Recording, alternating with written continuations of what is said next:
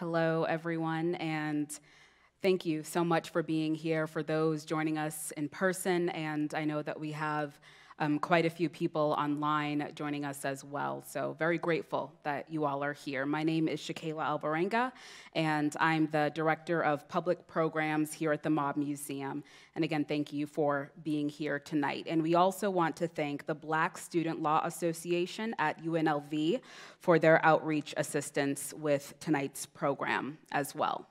So, as many of you know, February is Black History Month, a time to highlight and celebrate the achievements of African Americans. And after a tumultuous year which tested the nation's strength and courage, we are honored to present this program to you tonight.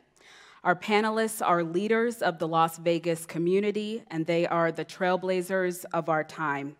Joining us on video conference is Laverne Ligon. Ligon was a former dance captain of MGM Grand's Hallelujah Hollywood, which was the Las Vegas Strip's first all black line of showgirls. After retiring in 1982, Ligon opened the Simba Talent Agency, a dance school for at risk youth. Brenda Williams is the president of the Westside School Alumni Foundation. She was the first African American to work in a bank in a non service capacity in the state of Nevada. Williams has the distinction of being the first black female member appointed to the Las Vegas City Council and the Las Vegas Planning Commission. And with the help of the Westside School Alumni Foundation Board of Directors, Williams also offers educational scholarships to the underserved youth of our community. Claytee White is the inaugural director of the Oral History Research Center at UNLV. She chronicles the history of the Las Vegas black community. She is one of the five founders of the Las Vegas Black Historical Society. White is also a member of the Mob Museum's Advisory Council. And David Washington was the first black fire chief in Las Vegas, and under his leadership, the department increased its overall staffing and reduced response times. He also helped to establish the Las Vegas Fire and Rescue Foundation. Thank you all so much for being here tonight. Please give our panelists a warm welcome start to applaud myself.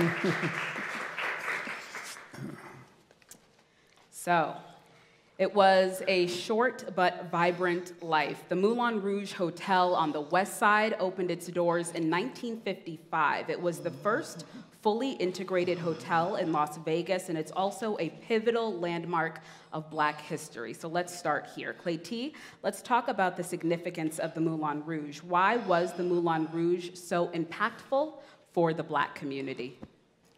When you think of a hotel casino and uh, a place as plush as the dunes, the sands, Desert Inn, that's what was built in the black community. The black community really started at H, uh, uh, ended at H Street at the time, so this casino was built just beyond the boundaries. So we're talking about just a few feet from the boundary. So you have in your community now a place that rivals anything on the strip or downtown. The sign was designed by Betty Willis. So we don't have that many signs left. She was also the one who designed the Welcome to Las Vegas sign, so a very, very famous sign maker. It was the first line of black dancers in Las Vegas. So we have a person on the panel tonight that was on the first line of black dancers on the Las Vegas Strip, but this line was the first in the city of its kind. The location was also the place where the meeting was held on March 26, 1960, that integrated the city of Las Vegas. So those are some of the reasons that it's so significant. Right. Mm-hmm. And it's also important to understand the role, really, that the Moulin played on the west side of Las Vegas. And Brenda Williams will bring you in here. Not only was the Moulin Rouge a symbol of Las Vegas's civil rights struggle, but it also was a source of pride for many people who lived there. Can you share some of your thoughts as well? Well, thank you for the question. Uh, I actually believe that the source of pride perhaps would have been more so with the individuals in the community who helped construct the Moulin Rouge. They were the construction workers, the hod carriers, the bricklayers, and those types of people. Because the Moulin Rouge, the head people, did not recruit individuals to work at the Moulin Rouge from the neighborhood, not from the community. They reached out to other communities like the Los Angeles, San Francisco, and those types of people uh, to bring in their expertise. But on the other hand, I think if we start talking about pride, uh, some of our more prominent civil rights leaders relocated to Las Vegas during that time and positioned themselves to assist others who in the ongoing struggle of civil rights for Las Vegas. Uh, the targeted hotel casinos created a more welcoming atmosphere for those who otherwise would never have come under the Iron Curtain, that's the West uh, Bonanza underpass, okay? Uh, uh, so they would never come over to visit uh, an established uh, casino on the west side. So the west side benefited not only from the influx of new patrons to their establishments, but also their money. The Moulin Rouge, it paved the way, as we mentioned, for opportunities on the Las Vegas Strip, especially in the entertainment field. For example, MGM's Hallelujah Hollywood show. Now, this photo, look at that right there, Laverne Ligon. Yeah. This was taken in the early 1970s. Laverne, let's bring you in here. Tell us a little bit about your career leading up to this point. I can't hear you too well. It was a little, Can you hear me, Laverne? I can hear you now. Okay, so I, I, we're showing a photo of you from the 1970s. It's a, a, a beautiful photo. Um, tell us a little bit just about your career leading up to, to that point. Well, needless to say, that was many years ago, and I wish I looked like this today. But um, I, I came to uh, Las Vegas after auditioning for Hallelujah Hollywood in um, 1973. And um, that's where we had our first rehearsal at the MGM, the first MGM, now known as Bally's. And um, we rehearsed for many months. The show opened in 1974. And this was like nothing I had ever experienced before. To see a building this huge, it, at this particular time, it was the largest stage in the nation, as far as I know. And uh, it, it, we danced with sawdust on the floor, had to wear hard hats because it was still uh, pretty risky. And at times, we had to sit because there was nowhere for us to rehearse. And uh, we, we became a, a big family. But the difference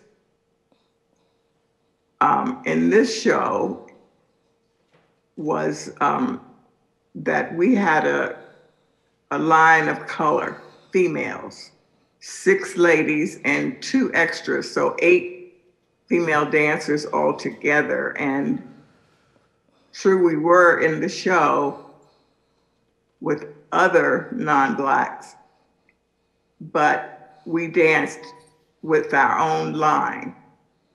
We had our own costumes. And I think Don Arden, who was the producer director of Hallelujah Hollywood, had this vision, but I think he did it at this time. It was tasteful, tastefully done, and we pre- were presented as like a specialty act. We didn't feel like we were being segregated. And I loved it because we made more money. we had costumes. And uh, eventually, other members in the cast, females, wanted to be in our line. And they would go out and get a deep suntan to prove that they were um, the color as much as we were. Eventually, after a few years, the line did become integrated. Uh, there was a lady who was from New York, a New York dancer. She was Jewish, and she honestly tanned darker than I was. Yeah. And um, it, it was just a, a great experience. Um, I, I eventually became the dance captain, and I ended up and stayed there for eight eight and a half years. And eventually, when the after the show closed, uh, another spectacular was um, opened, Jubilee, and I was also the dance captain in that uh, particular show also. I didn't last as long. I had an, an accident, a fall on stage, and I injured my knee, and my career was over in one day. But I did continue for a while, um, breaking in new dancers and teaching the choreography. So I stayed as long as I could until that became illegal because they felt I was in danger. And Laverne, I'm curious to know, you know, after your accident, what happened there? What did you do? Uh, well, while I was uh, doing the show, um, I, I used to teach technique classes or bar bar class behind stage to just kind of keep some of the girls up with their ballet technique. I mean, MGM was not a show where you could just go in because you were uh, long leg and pretty, and you had to have dance a good dance technique a- as the basis of, of your talent. And um, so after I had my accident,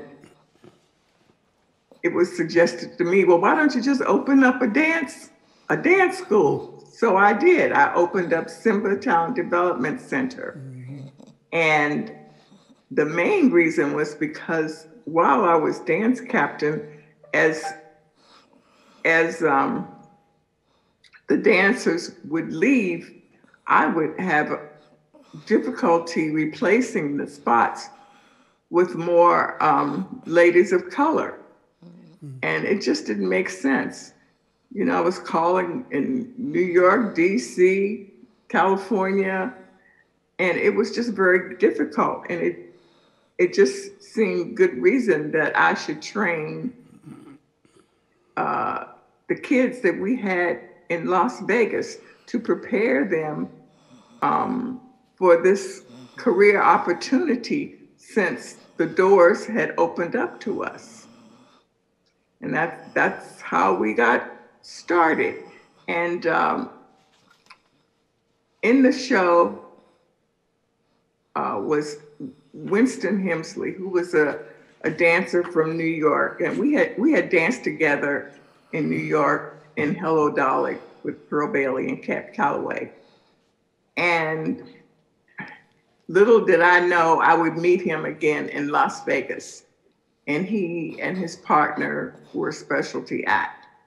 Then when Hallelujah uh, Jubilee opened, he was one of the main three choreographers. And um, so he came with me, he and I put our heads together and we started Simba Talent Development Center. And the problem was, they said, Laverne, you'd leave the front desk. They said I gave away everything. My mother was there. Um, uh, and David Washington was on our board, and eventually he became the president of Simba Talent Development Center. You And always get I- suckered into stuff. I know it's a lot of stories here. We won't get into that. But I taught his daughter, um, Amber. She, she was a very good dancer too. And I, I know that she's still um, out there doing it w- with the church.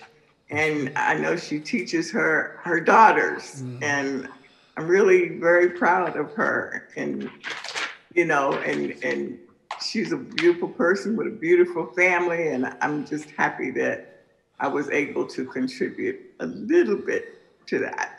Yes. Laverne, thank you, thank you. David. Yeah, I just wanted to add that uh, certainly not only Amber, but also Angel. Angel didn't stay very long, but Amber, she, Yes. she, she, she continues today with her church dancing.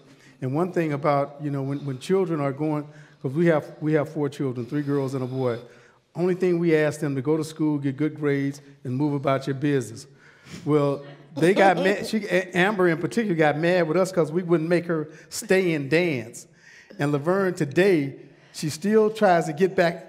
It ain't coming back, Amber. You're 40 years old.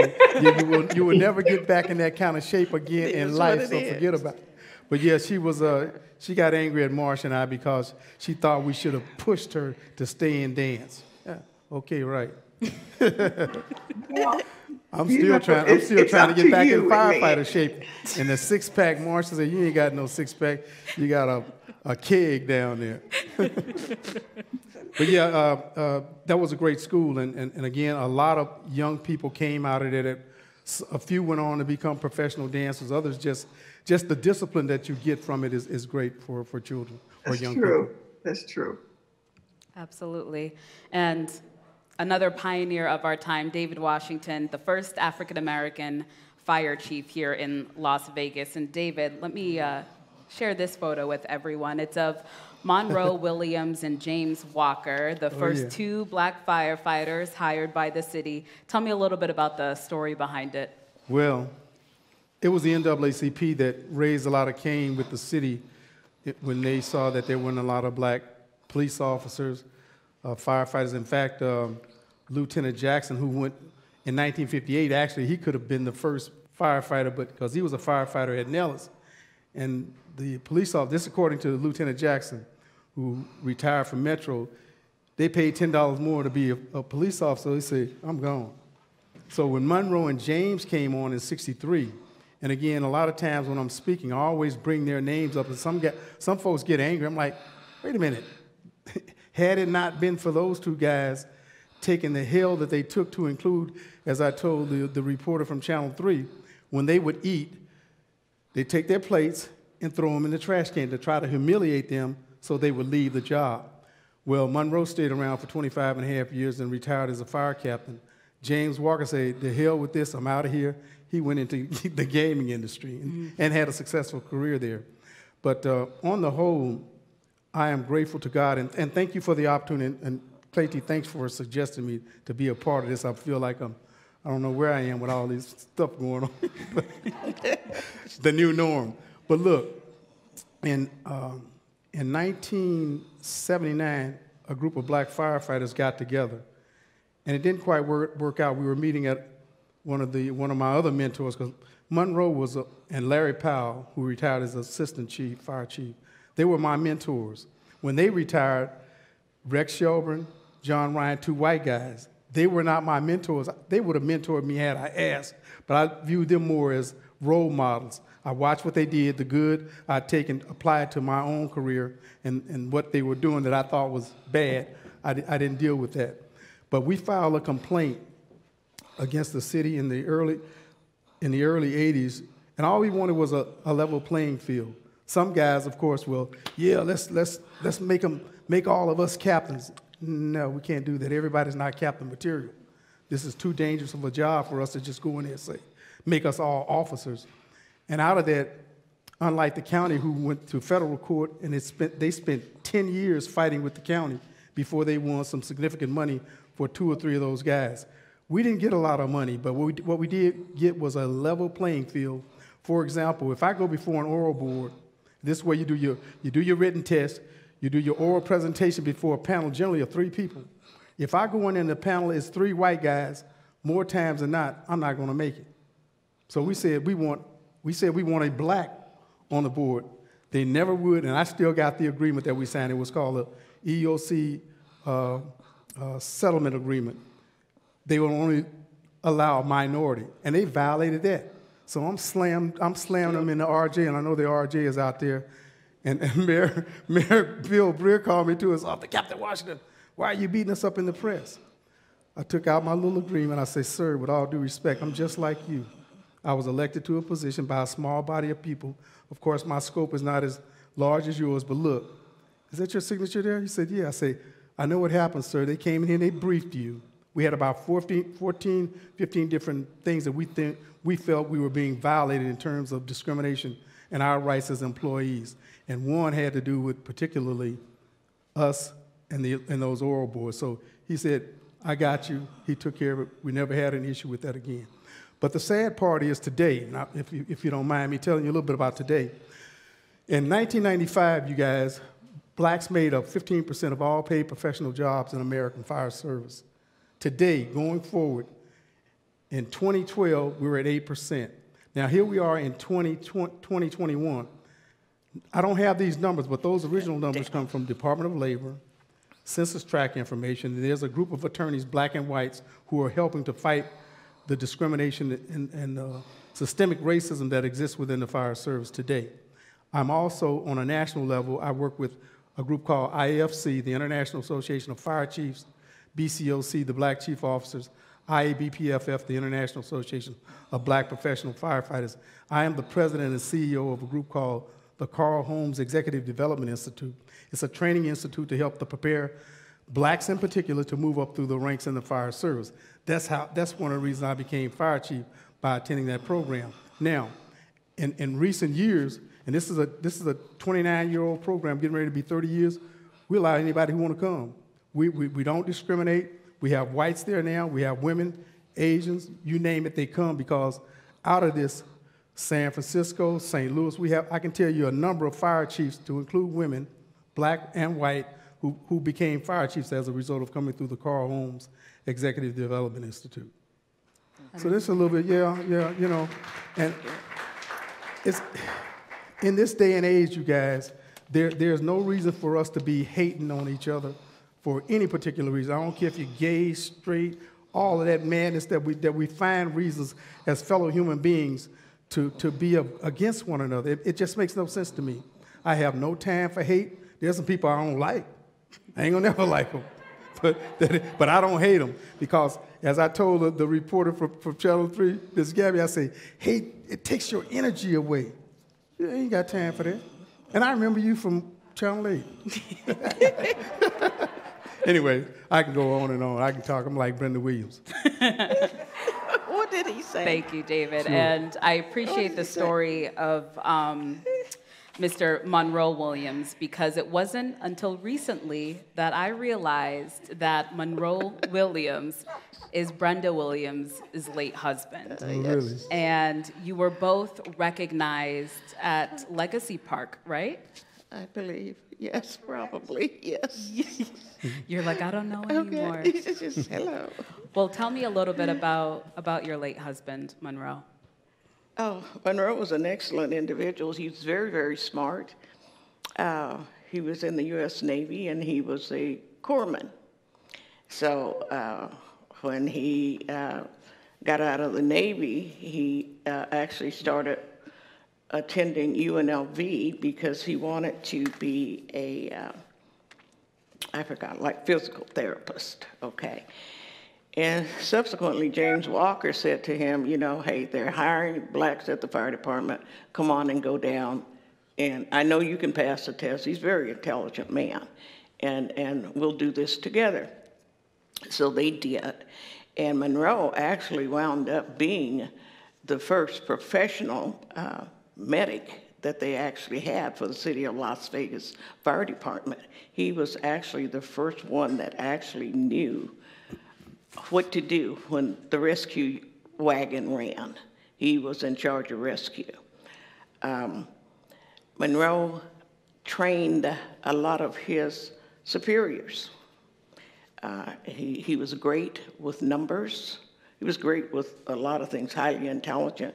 As a matter of fact, at his funeral, his captain uh, at, at the time said that he would not be a captain had it not been for Monroe teaching him hydraulics and all of those things that were necessary to pass the exam. So he said, I would not be standing here today were it not the shoulders of Monroe Williams. So uh, he had a great amount of character.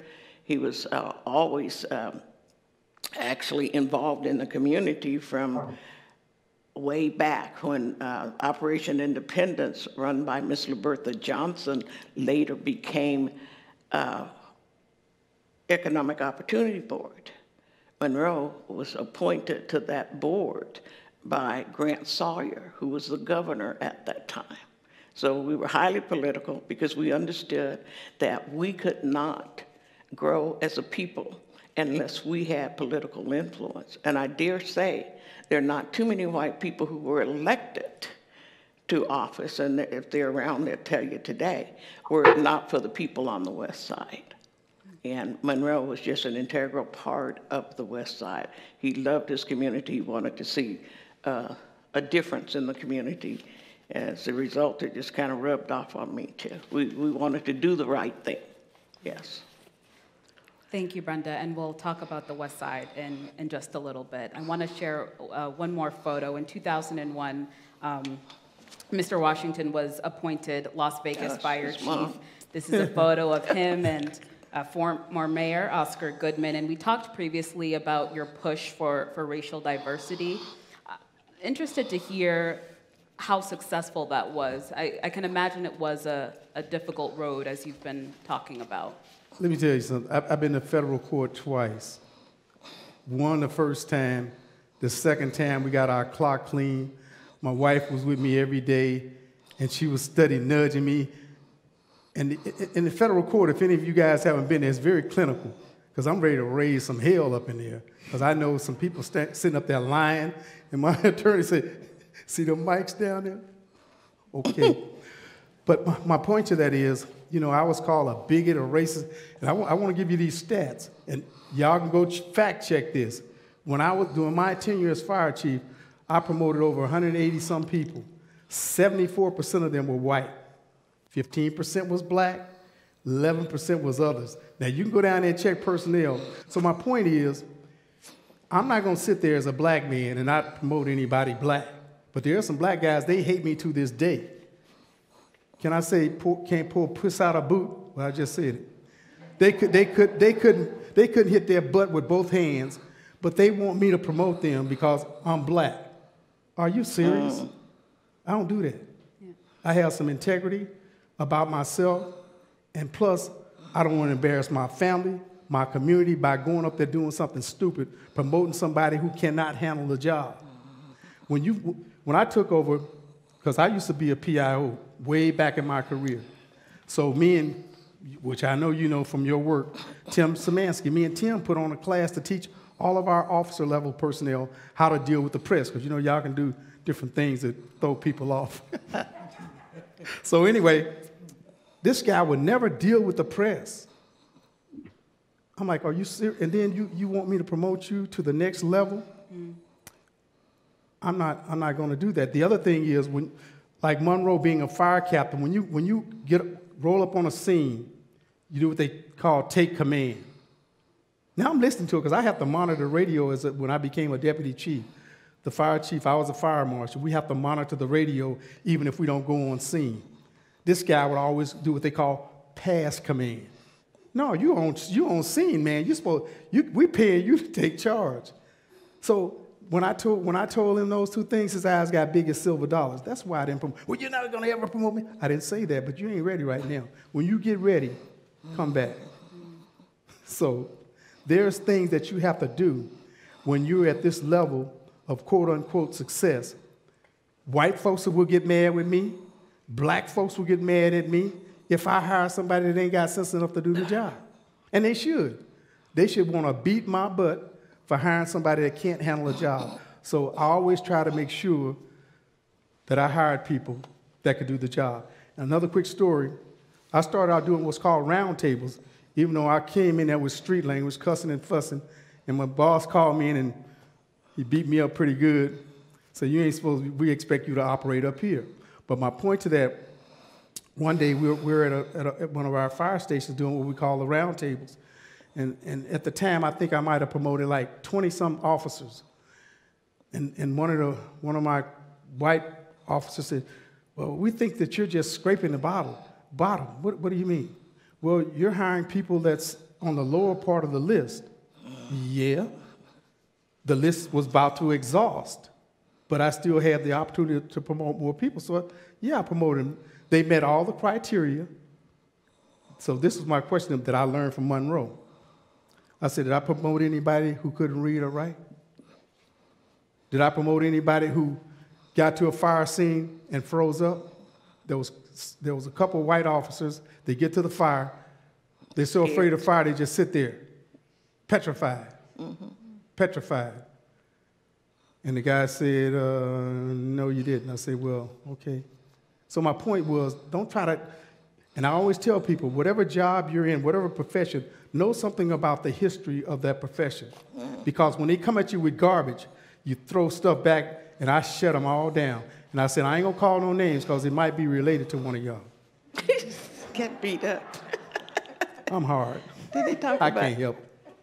Claytee? Dave, thank you so Sure. much. And um, I want to talk a little bit about the West Side because of just the how much history that that neighborhood holds. Laverne, I'm interested. I know you worked a lot on the strip, but do you remember the West Side? What was your experience there as well? Well, when, when I moved to uh, Las Vegas, I didn't know anything about the West Side. But um, in our line, we was a member who was from the West Side. Her name was Pamela Noble.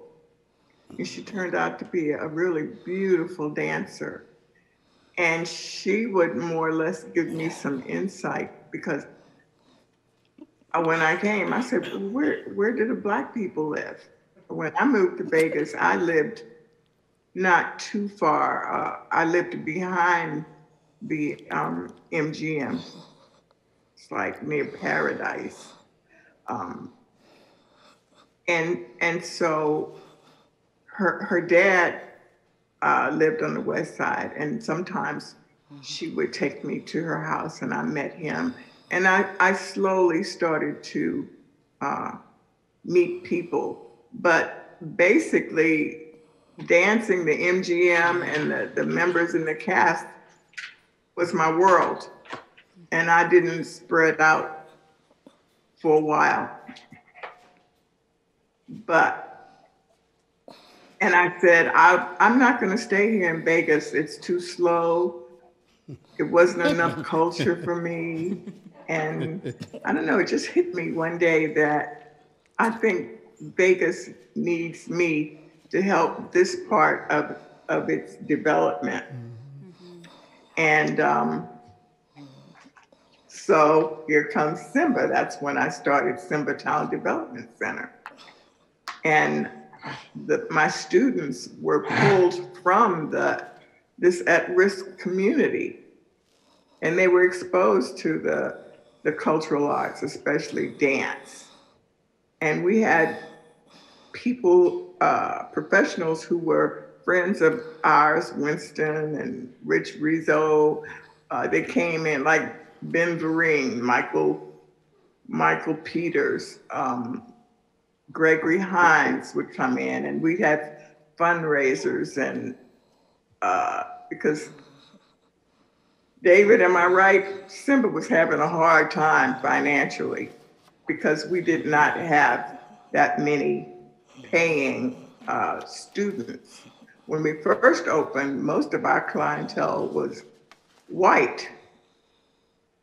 And the black community was very skeptical of what we had to offer. So, you know, they just sat back and watched us. And then when Simba developed a, a, a junior company and we started doing dance lecture demonstrations throughout the community, and we took a little troupe through and uh, exposed them to the development of dance from the African uh, rhythms to classical ballet, tap, jazz. And uh, we received a lot of credit for educating the community. And eventually, we started seeing uh, our people come through the door. The problem was they didn't have the funds to pay for the classes. And that's when I got in trouble and they took me off the front desk. then we, we had uh, lots of fundraisers, so we had many scholarship students. Thank you, Laverne. Yes. Brenda Williams, you've done tremendous work, and we've briefly talked about it, but on the West Side, and I know it's a place that is, is dear to your heart, are predominantly African American neighborhoods. And you wrote this book, West Side School Alumni Stories Our School, Our Community, Our Time. Why do you think it was important to tell these kinds of stories? And tell me about maybe your favorite one. Wow. Favorite? They're all awesome and compelling, so I wouldn't dare try to select a favorite. That's a comp- the book is a compilation of stories as told by individuals uh, who attended the historic West Side School, the oldest standing school in Las Vegas. It was built in 1923 and it closed in 1967. The need to tell the stories was born out of the fact that our history was being omitted, and those who thought they knew it were not really telling the stories because they didn't. And so I said, well, wait a minute. I know enough people in this town who grew up with my aunts and uncle. They are still alive, and yet they can tell their own stories. So that's how the book got started. And we formed the West Side School Alumni Foundation in order to support the renovation and, and uh, of the West Side School so that we could leave a legacy for the children and the people who came after us. So in that book, we have like the oldest author, and I call them all authors because they either wrote or told us their stories. The oldest living teacher from West Side School is Miss Audrey James. She is 106 years old. She has all of her faculties about her. She just called me the other day and she wants me to do some things for her because she doesn't like the uh, amount of time that the Supreme Court justices should sit on the Supreme Court. It should be limited, she said. Mm-hmm. And she's writing it up, and she and I will get this on to the right people. But it's people of, of that quality that lived on the West Side. You, with, if had we not written the book, these are people whose stories would never have been told. Nobody understood that um, uh, how many judges, federal court judges, district court judges, uh, attorneys, pediatricians, architects, all of those people went to West Side School and they left that legacy. Seat. So it was important to tell the story so that the kids that came after us could understand that they stand on the, the shoulders of greatness. I often hear, used to hear Dave say all the time, you know, I, uh, uh, we have to give honor to those whose shoulders we stand on. And that's absolutely true. I, I was listening last night to, uh, I, I, believe it was uh, it was PBS, and it was about uh, blacks in, uh, well, what am I saying? The black churches, right? And the first black minister from uh, AME, female, said, I, uh, they did and I am, because she's recognizing that she stood on the shoulders of greatness. And, and it was quite something because that's the way I felt. And, and to just explain a little bit uh, about uh, the importance of the book, in 2012, um, the Las Vegas Centennial Commission uh, gave uh, the Westside School uh, Alumni Foundation a certificate. We, we won the 2013 uh, Historic Award of the Year, okay? And uh, it, it, it, it, I know so much about it. I, I'm trying to be succinct so Dave doesn't accuse me of talking as much as he does. so, so, but at any rate, the book is well read.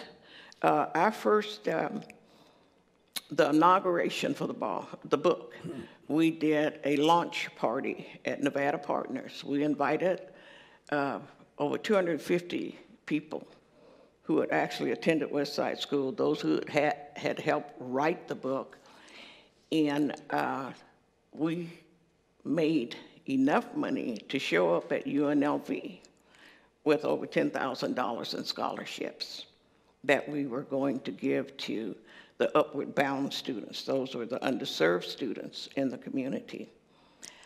I recently had an opportunity to interact um, with um, uh, Dr. Kevin Wright, who is an assistant director of diversity and, and uh, social justice at UNLV.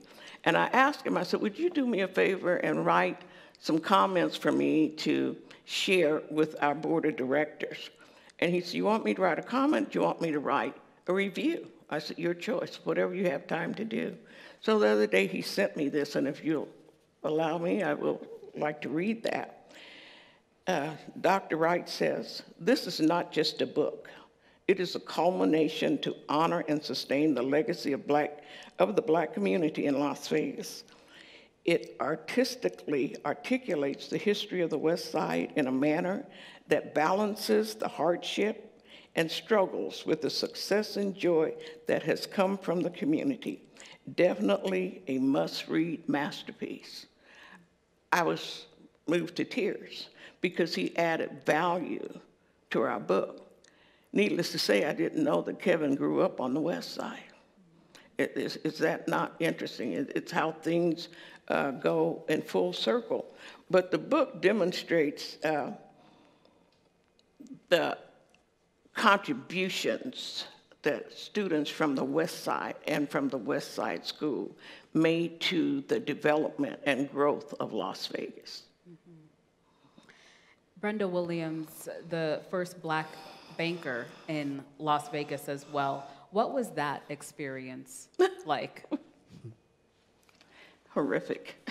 it, it, it, was, it really was. Uh, just as an example, and, and, I'm sure you all probably saw the front page of the Las Vegas Sun not too long ago. On my first day at work, uh, my supervisor told me that, um, you know, we have to work, uh, work with you, but we don't have to like it. He said, mm-hmm. and we don't have to like you. So now can you imagine starting your first day of work under that kind of stress? But I was bound and determined to stay on that job. There's an awful lot of uh, uh, resilience that you have to have in order to be the first, particularly in a racist situation. But you know, I made it through there because my family was proud of me. My mother and father were proud of me. My husband was proud of me. And one day I looked out in the lobby and this white lady was standing watching me. And I thought, oh, that's Miss French. That's the principal at West Side School. She was my kindergarten teacher. Hmm. So she was assessing the situation. She waited till just about everybody had gone. And she walked over and she looked at the top of the counter at my nameplate and she said, No, Brenda Joyce Smith is your name.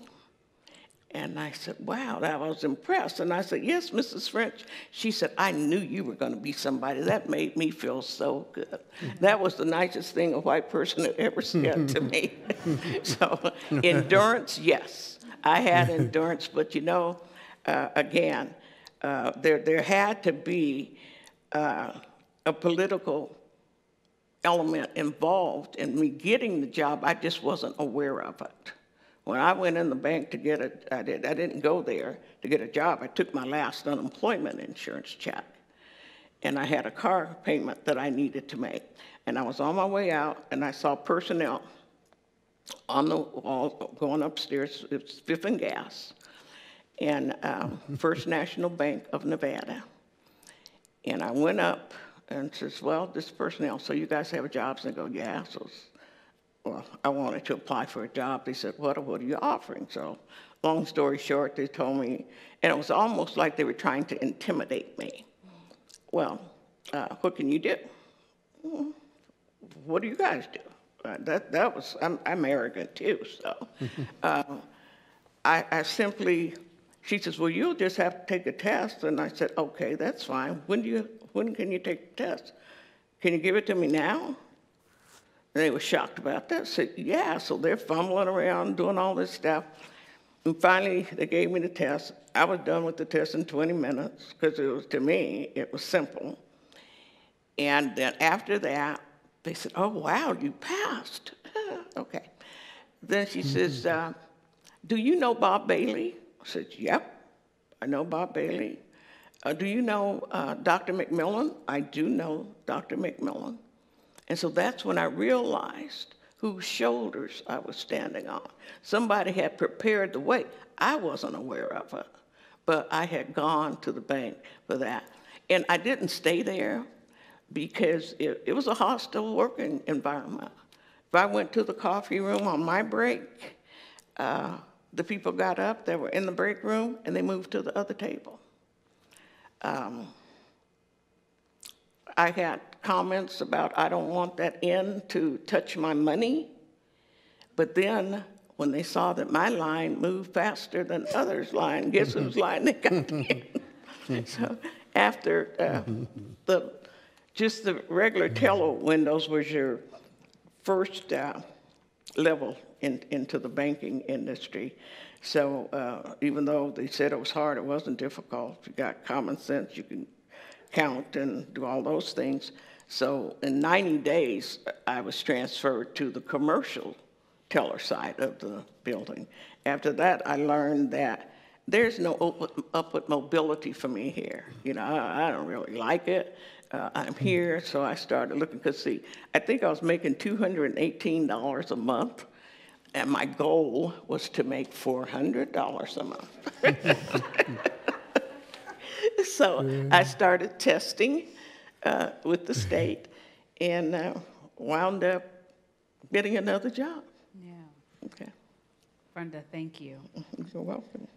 Well, over the years, the downtown area received more than $160 million from the city for redevelopment projects. The West Side received 22 million. It's an area that lacks basic necessities like grocery stores still. So before we bring up Ms. Kathy Thomas from the city of Las Vegas, Claytee, I just want you to chime in here about a little bit about what you've learned about the West Side over the years. So how, how long do we have? We, I'm just kidding. Um, so when I came to UNLV, we didn't have an oral history research center at the time. We didn't have an oral history research center in southern Nevada. Northern Nevada had a center. So the history department at UNLV thought it was time that Las Vegas had an oral history center. So I was lucky en enough to get that job once I had gotten a master's degree at UNLV. I did not know at first where the black community was located. But at that time, I used to get my hair done because I had a um, perm in my hair. So I had to go to the beauty shop every other week. So I went in to the beauty shop one day and I said, Where is the black community?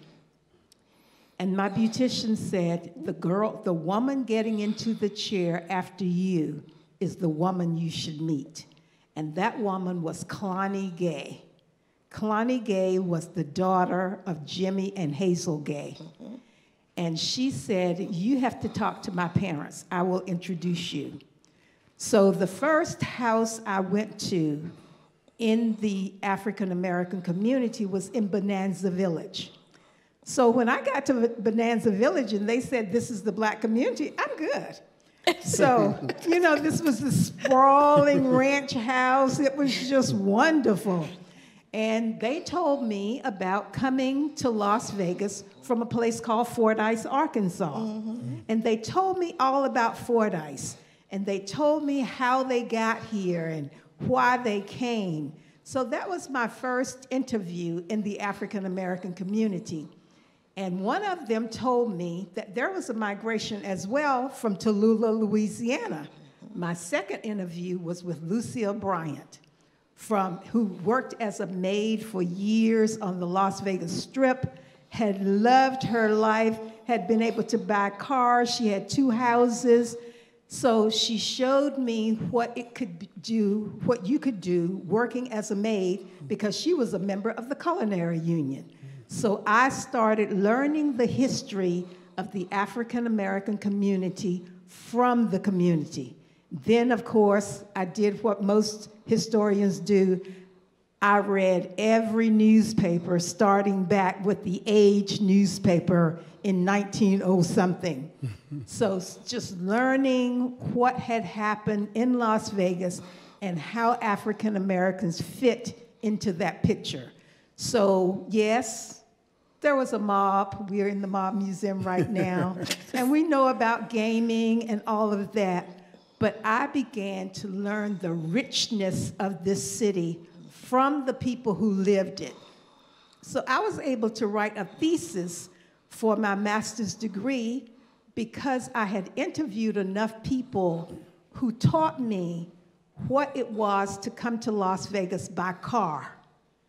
You had to know what kind of food to fix to bring with you for that two and a half, three day journey by car. And both Fordyce and Tallulah had people who would drive you back and forth it was the most amazing history that I had ever heard in my life. Because when I was home in Ahoskie, North Carolina, I was never old enough to learn that kind of history back there. Yeah, we learned some things, but never to sit down with somebody and interview them like I was able to do here in this city. I've interviewed Dave Washington, I've interviewed Marsha Washington, I've interviewed Laverne right there on, on the screen. And guess whose interview I never was able to finish? Guess. but I want you to know that the, the over 200 interviews that that I was able to collect in the black community. Now, we do interviews for all communities all over the county. I work with two women who are project managers. So they ma each manage a project at a time, and I continue to work in the African American community. That's a privilege you have when you're director of a program. So, because of that, our website is available. You can go to our website and you can read these interviews. So, just go to the easiest way to get to it is just go to Google and type in documenting the African American experience in Las Vegas. And before you finish type, typing that in, the African American website will pop up. And you can read, you can watch, you can look at photographs. There was a photographer named Clinton Wright who took photographs in the community for years. He donated a lot of those photographs to the UNLV oral history, to the uh, special collections where the Oral History Research Center is located. Because of that, we have that richness that you can go online and you can look at the photographs that he's taken. You can look at photo photographs of the women who participated in the welfare rights movement in the late 60s and early 70s. You can see some of those photographs. You can see photographs of Hattie Canty, who became president of the Culinary Union. Mm-hmm. So you can learn her story and, and listen to the, to, to the interviews, or you can read them. We, we transcribe every one of them before we put them online. So you may listen if you like, but most people don't have time to actually listen. But you hmm. have time to read the history. The history is rich. And so that's what my job allows me to do. That's the kind of history that I am allowed, have been allowed to learn here in this city. So it's rich, it's wonderful. Koichi, thank you. Shakayla, can I interject something, please? Sure. Uh, I'm learning for the first time that your first experience was with uh, Cloney Gay. Yeah. Cloney Gay and I were best friends. Uh, Jimmy Gay and my parents were best friends. They were the migrants from Fordyce, Arkansas. I was born in Fordyce, Arkansas. My mother was a founding member of the Fordyce Club that gave you that wealth of information. She is one, she was the first black woman at the basic magnesium plant to actually make munitions for World War II. And these are things, if you Yeah, I don't became a member of the Fordyce Club. I actually went to Fordyce. it's been we, wonderful. we know a lot yes. together. Yes. Thank you. Well, let's bring up Miss Miss Kathy Thomas um, from the city of Las Vegas. Thomas is the director of the Office of Community Services for the city, and she is a lead director on the Hundred Plan in Action and on the city's uh, diversity, equity, and inclusion initiatives. Miss Thomas, thank you so much for being here. Can you tell us what the Hundred Plan in Action is first? I certainly can. Thank you for having me here this evening. And I really have to acknowledge whose shoulders I get to stand on. So I want to thank all of the panelists for lifting me up, um, figuratively and literally. Like Miss Brenda Williams has pulled me aside and whispered in my ear a time or two and got me straight. So I want to thank her for that. And I want to thank all of them for being so generous with their time and their wisdom and their knowledge with me. Uh, particularly those of you here on the stage have been pouring into me. I'm a transplant to this area, and uh, you all have poured into me. So I want to just acknowledge that I'm standing on your shoulders tonight. So thank you. So, 100 Plan. The 100 Plan is an acronym. It's not a 100 year plan. We're not going to take a 100 years to have progress. 100 is an acronym for the Historic Urban Neighborhood Design Redevelopment Plan.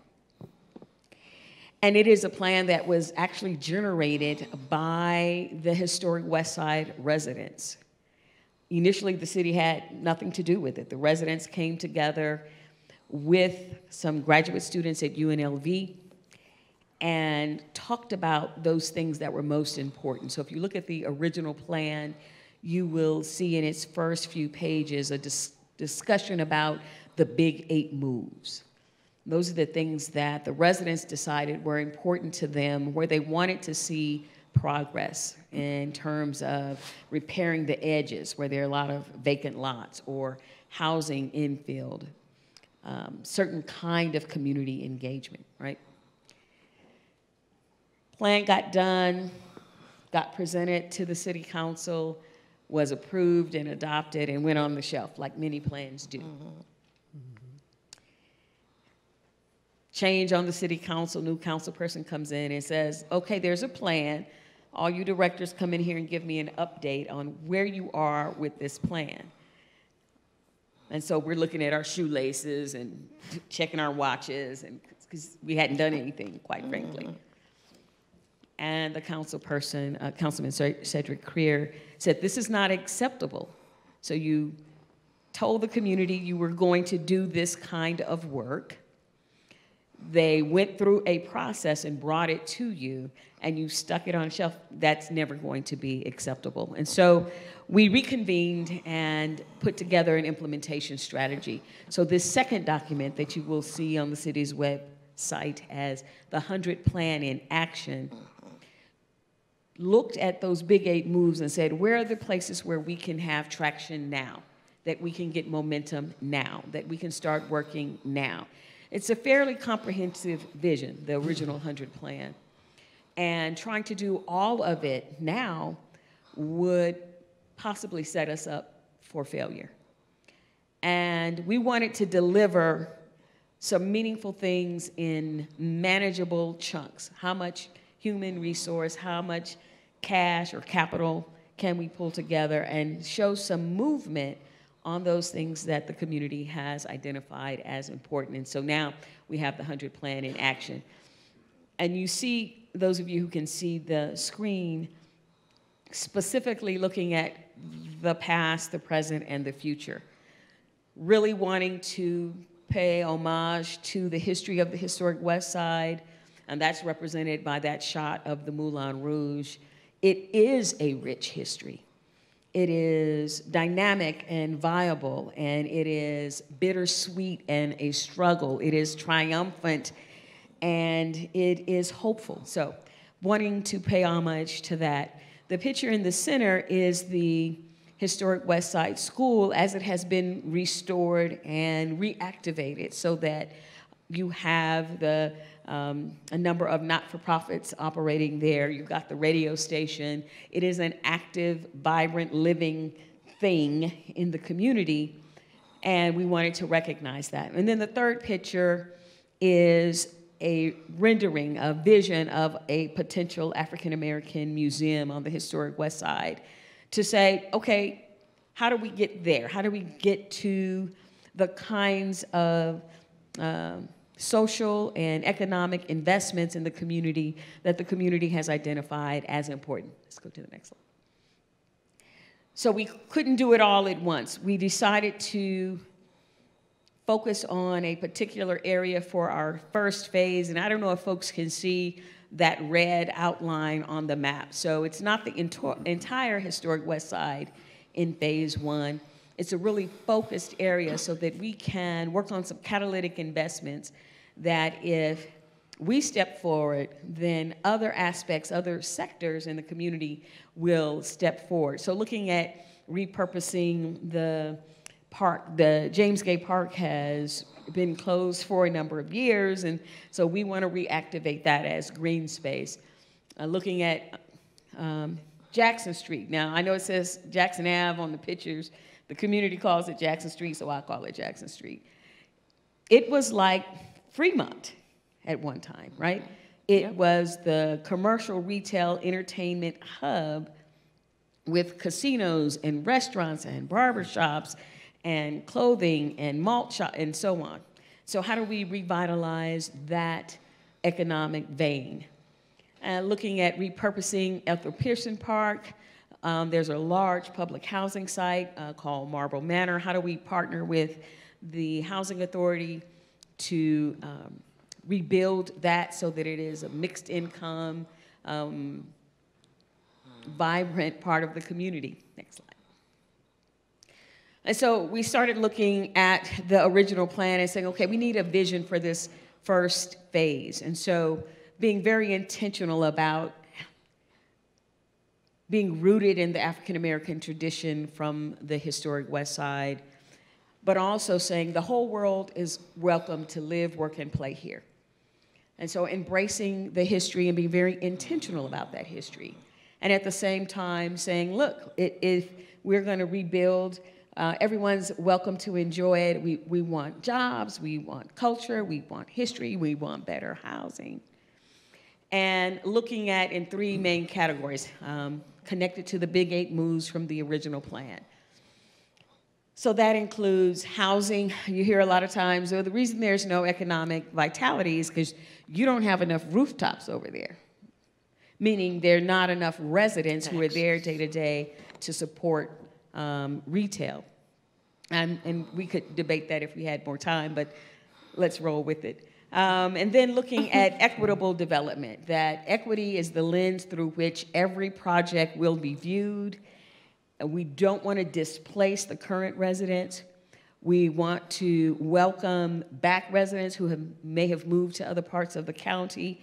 We want to make it a place where the heirs, uh, the descendants of folks who lived and thrived in the West Side, want to come back to the West Side. And lastly, to bolster entrepreneurship, education, and the opportunity for jobs. Next slide, please. And so I talked about those catalytic investments. Um, there, it is no secret that there has been a systemic and systematic disinvestment. And that's true of neighborhoods like this all across America. Um, it's not unique in the sense that um, neighborhoods that have been both uh, legally and de facto segregated end up being redlined by financial institutions literally on a map. We're not going to lend or make capital available in these neighborhoods. Um, it is no secret that there are neighborhoods all over America that are literally on the wrong side of the tracks or the Iron Curtain, as it was referred to here, that there are these um, physical and psychological dividing lines. Mm-hmm. And it was legally segregated. And so there are all kinds of reasons why you see the development patterns that you see. We've uh, worked with developers, we show them a map. And they say, my goodness, there are a lot of churches. Like, we can't build restaurants and we can't do this and that. And look at all those churches. And th- this is how systems work together, right? So you legally segregate a neighborhood and say the only place that blacks can own land is here. You fast forward a few decades and you see a black church on every other corner and say, well, we can't invest there because of all those churches. And so that's insult to injury. The injury is the segregation that forced a community into a geographically defined area and said, this is the only place you get to be. And then when the legal barrier is removed, you say, well, we can't invest in that community. Look at that development pattern that was created by legal segregation. So we know we need, we meaning the city, uh, quite frankly, was historically a part of that set of facts part of the system that created the challenges here. And so we need to invest now to sort of prime the pump. We need to be the catalyst so that the private sector, the philanthropic sector, comes back to the table and invests in the neighborhood. And so we looked at some specific areas. I mentioned Jackson Street already because it had been the economic and social lifeblood of the community. Uh, we've talked a lot about the Washington Avenue and D Street area where the historic West Side School currently exists. And there at Washington Avenue and H Street, where we have a lot of um, housing developments with uh, both public housing, but also adjacent to that is the site of the former Moulin Rouge um, resort and looking at those as catalytic opportunities that if we invest there, if we work with community partners to spur investment in these areas, then it will spur investment across the community. And you may see a couple of green belts along the freeway. Um, that's James Gay Park and Ethel Pearson Park. And we don't have a lot of vibrant green space in this community, also a part of uh, historic, uh, systemic, systematic, and systemic. And I use those two words very intentionally. Um, systematic is a level of intention. Mm-hmm. Systemic is a pattern that may or may not be overt and intentional, but they work together in a way where institutions um, have a set of standards and it's systemic that it creates barriers, whereas um, systematic implies intentionality, that humans are making decisions about how they engage with the community. The 100 Plan is intentional in the sense that it wants to attack the historic patterns and to change the current patterns so that we're dealing both with the systems and the systemic uh, problems that are occurring. And so the 100 Plan is a living, breathing document. Um, it should change, it will change as opportunities arise, as uh, demands from the community arise. Uh, we are intentionally staying very focused on our engagement so that folks can say, yeah, that's not a good move, Kathy. What are you doing there? Or that's an awesome move, Kathy. Do more of that. So that we uh-huh. continue to receive that feedback and that it is a constant engagement. We want to partner with the community. We don't want to do things for the community, and we certainly want to stop doing things to the community. We want to be a meaningful, engaged, and intentional partner with the community to do the transformative work that um, historically has not happened. My contact information, um, if folks can see it, is there on the screen. Uh, we, are serious about, we want to hear from everybody, and we um, have broadly defined stakeholders in this plan as if you live here, work here, play here, or pray here, you are a stakeholder, and we want you to be engaged mm-hmm. in revitalizing this community. Kathy, thank you so much for further explaining what the city is doing um, on the west side. You are very much appreciated, so thank you. Thank you. And I want to say thank you to all of our wonderful panelists. We do have a few minutes for any questions, and we can open the stage up for anyone in the audience and those online. Jeff will be assisting us um, to ask any questions. and you can head right over to this mic over here if you have any questions for our panelists tonight. As a panelist, can I ask Ms. Kathy a question? Ms. Qu- Ms. Kathy, can you address the uh, our new signs that we have welcoming people into the west side. Thank you, Ms. Brenda. Absolutely. So, this is a place based strategy. The, the, the 100 plan is a place based strategy. And one of the tenets is that um, you literally stake a claim. The community gets to stake a claim and say, this is who we are, this is where we are, you're on our turf now. You're welcome, come on. But this, this is our turf. And so there are several signs now, actually designed by a local African American artist. And we utilize community development block grant funds, which are specific dollars, federal dollars set aside for neighborhood revitalization, to put signs at strategic places. It is um, uh, community identity, it is a welcoming tool, it's a wayfinding tool. And so the signs are strategically placed to um, welcome both residents and visitors into the community. Um, they are there to um, undergird the existing community pride that is uh, such a core tenet of our work is to recognize and up- uplift the neighborhood pride because um, that's one of the key things we always hear as we engage with the community. Mm-hmm. And so these signs um, really are the, the markers, the indicators, the um, banners, if you will, that the community wanted to lift up its pride about this place. And so those signs just got installed over the last couple of months. They light up at night, and they're really um, uh, a beautiful kind of classic design that um, references the past but welcomes people to the future. Thank you. That was the beacon we spoke about, mm-hmm. a beacon to the west side. Yes. Yep. Is there anyone in the audience that would like to ask any questions for our panelists? You can just head right over here. Thank you.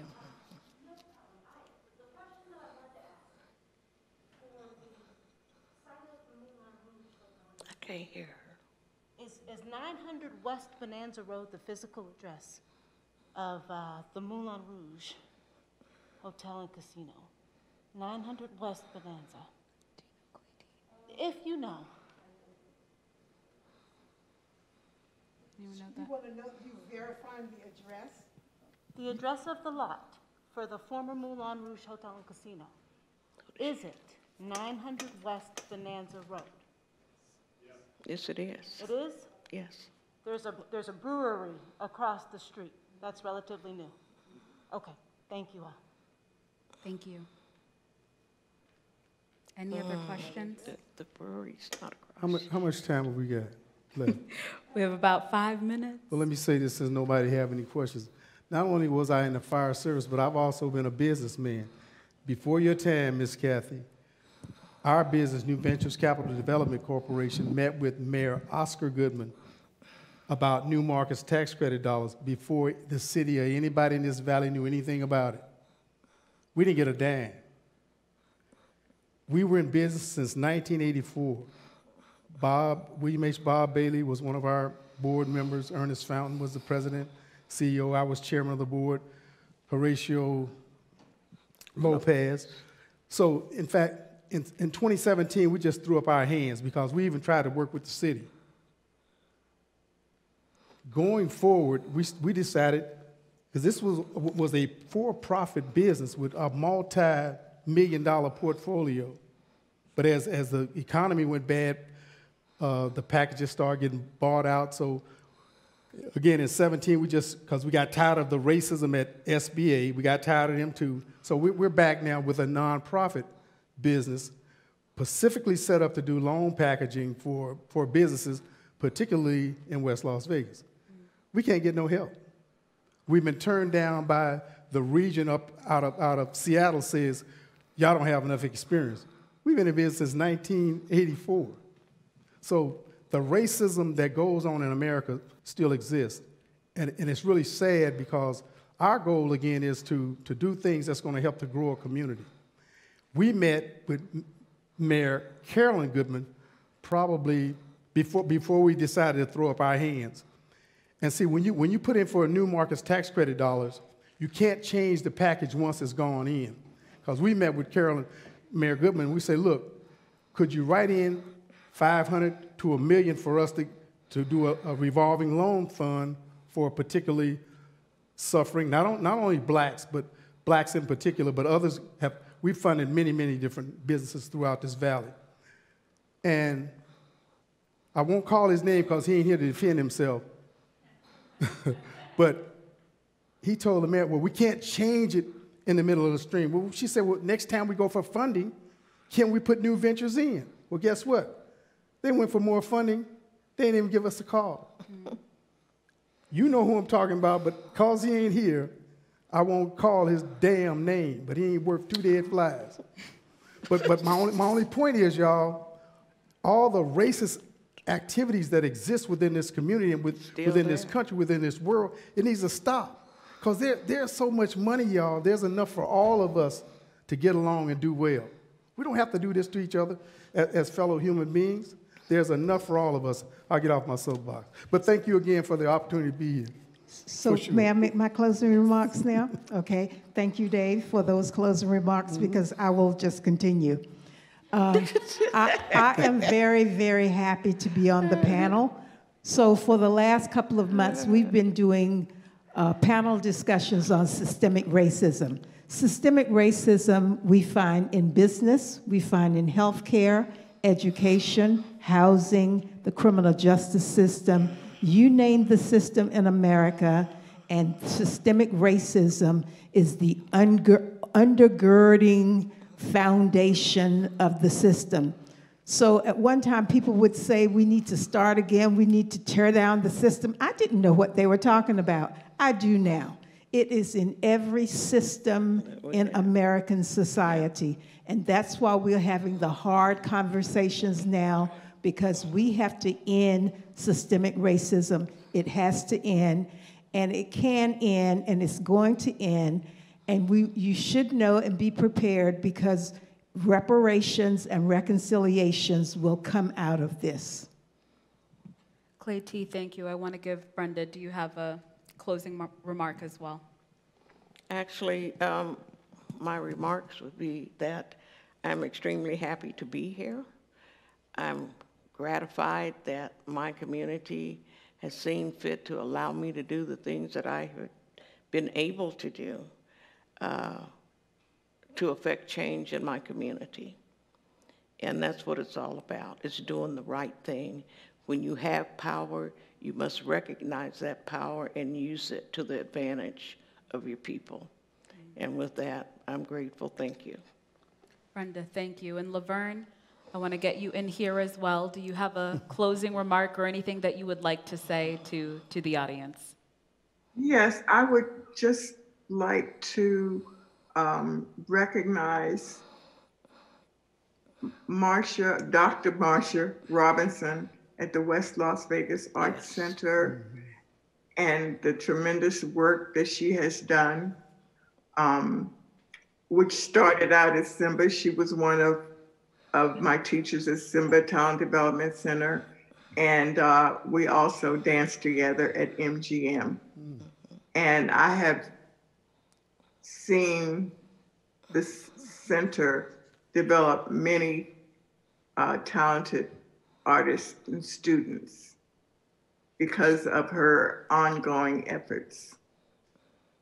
And uh, it, the West Las Vegas Arts Center is not operating to full capacity now, of course, because of the pandemic, but I hope to see it open its doors and just boom the way it was. Mm, yes, that's good. Laverne, thank you.